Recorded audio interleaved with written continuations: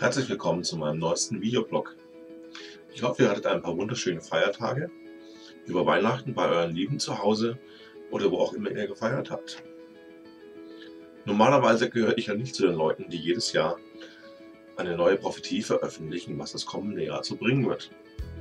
Als ich aber dieses Jahr bei meinen Eltern zu Hause war, habe ich Gott gefragt, ob es irgendetwas gibt, was er mir sagen möchte für das kommende Jahr. Und siehe da, ich habe was empfangen, was ich euch hiermit weitergeben will. Bevor ich das weitergeben möchte, was ich meine für das Jahr 2012 empfangen zu haben, möchte ich kurz auf das Wesen der Prophetie eingehen. Vor allem, wenn wir uns einen festen Zeitrahmen anschauen, wie das Jahr 2012, sind wir geneigt dazu, beurteilen zu wollen, ob Dinge passiert sind oder ob sie eben nicht passiert sind, weil wir sagen, okay, das Jahr 2012 ist vorbei. Ist es passiert, was prophezeit wurde, oder ist es nicht passiert? Und ich denke, bei Prophetie geht es eher um diese Zeitphasen, Season, wie man im Englischen sagt, wo wir nicht genau lang wissen, wie lange diese Zeitphase sich, wie lange diese Zeitphase anhält. Denn Gott spricht aus der Ewigkeit heraus, die zeitlos ist. Und wir haben ein sehr begrenztes Empfinden, was denn da jetzt wichtig ist. Und so haben wir vielleicht die Tendenz, Sachen in einen Zeitrahmen zu pressen, den Gott aber gar nicht ausdrücken wollte mit der Prophetie, die er uns gegeben hat. Und so ist es wichtig zu wissen, dass diese Zeitphasen unterschiedlich lang sein können. Es können wenige Tage, wenige Wochen, mehrere Monate sein, vielleicht sogar Jahrzehnte. Und was es noch schwerer, schwieriger macht, ist gewisse Zeitphasen sich auch überlappen. Und wir wissen jetzt gar nicht, wann hat die eine aufgehört und wann hat die andere angefangen, weil wir vielleicht dann auch in so einer Übergangsphase sind. Nun möchte ich das weitergeben, was ich jetzt eben konkret gehört habe. Und es ist eigentlich ziemlich simpel. Es ist nämlich einfach das Wort anders. Und ich finde es sehr spannend, vor ein paar Tagen hatten wir ja die Weihnachtsansprache des Bundespräsidenten gehabt. Und ich finde es sehr spannend, dass er genau dieses Buch, was ich jetzt auch als Aufhänger für mein Video hernehmen wollte, darin erwähnt hat. Er sprach nämlich von dem Buch irgendwie anders. Es ist eines meiner Lieblingsbilderbücher und in diesem Buch geht es um ein, nennen wir es mal, kleines Monster, das irgendwie dauernd aneckt, weil es eben irgendwie anders wie seine Zeitgenossen ist.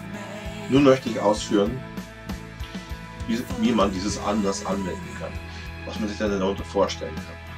Es gibt jetzt einige Beispiele, die ich bringen möchte, aber ich glaube, wir können noch eine Vielzahl anderer Sachen bringen. Aber das sind einfach die Sachen, die mir jetzt spontan gekommen sind. Und zuerst fällt mir ein, dass es die Leute leichter haben, die es gelernt haben, andere Wege zu gehen.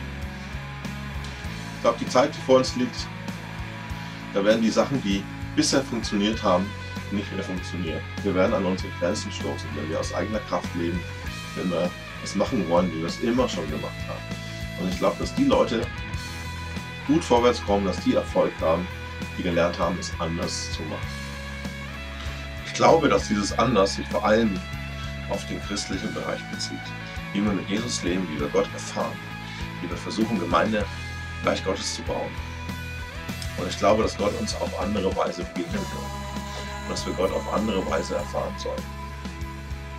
Maria Magdalena hatte Schwierigkeiten, Jesus nach der Auferstehung zu erkennen, weil sie gewohnt war, wie sie Jesus erlebt. Und weil sie nicht bereit war und nicht offen dafür war, Jesus auf neue Weise zu erleben sondern dachte sie, dass Jesus der Gärtner ist.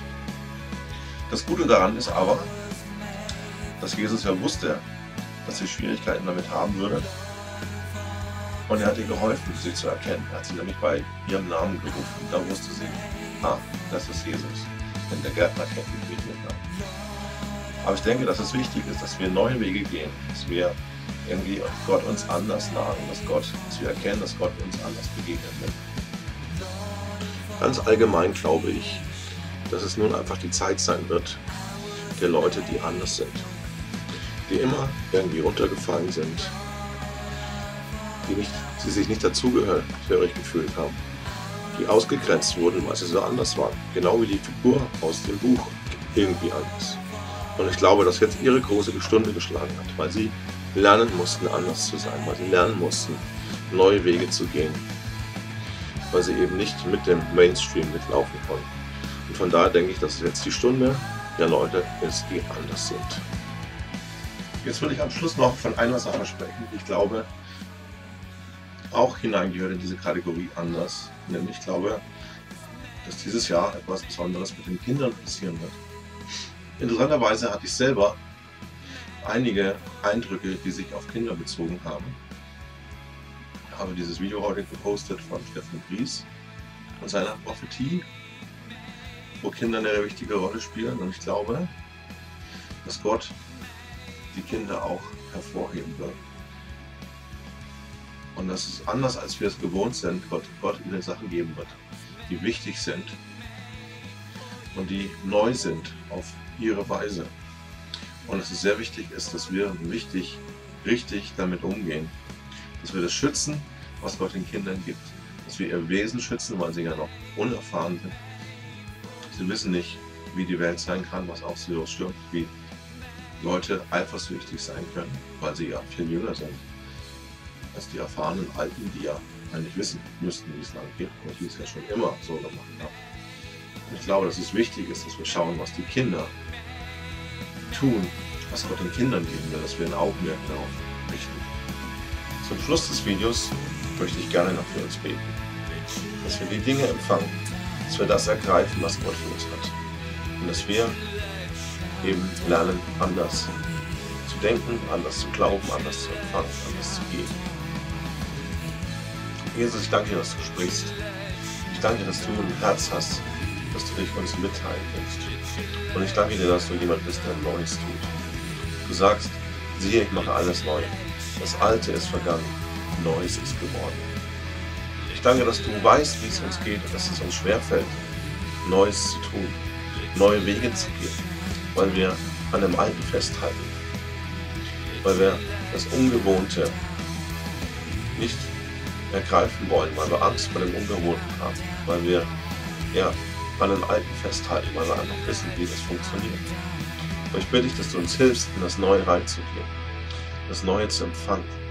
Danke, dass wir dich suchen dürfen, dass wir dich fragen dürfen, wie das denn funktionieren soll mit dem Neuen, wie das denn funktionieren soll mit dem Anderssein. Ich danke dir, dass du mit uns bist und dass du für uns bist. Danke, dass du dich gerne suchen lässt und dass wir dich finden dürfen, weil du versprochen hast, wenn ihr mich von ganzem Herzen suchen werdet, werde ich mich von euch finden lassen. Danke dir dafür, Jesus. Amen. Ich wünsche euch ein gesegnetes neues Jahr, einen guten Start ins neue Jahr. Feiert schön Silvester. Habt ein erfolgreiches Jahr. Vor allem ein wunderbares Jahr mit Jesus, wo ihr Jesus besser kennenlernt, den Vater besser kennenlernt, wo er euch besser vom Heiligen Geist leitet. Vielen Dank fürs Zuhören, fürs Zuschauen, für das Lesen meines Blogs.